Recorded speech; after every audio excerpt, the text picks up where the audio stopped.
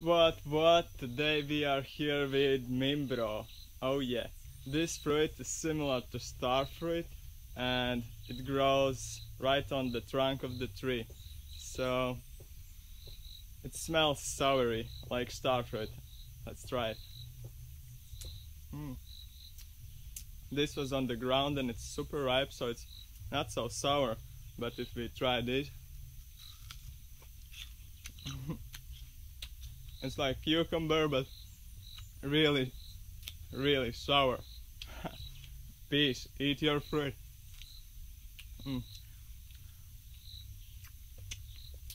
But when they are really ripe and falling on the ground,